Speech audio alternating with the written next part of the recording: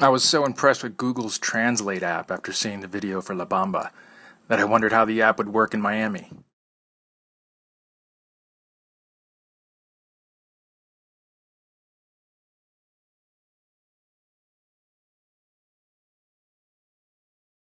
Looks like it still needs a little work.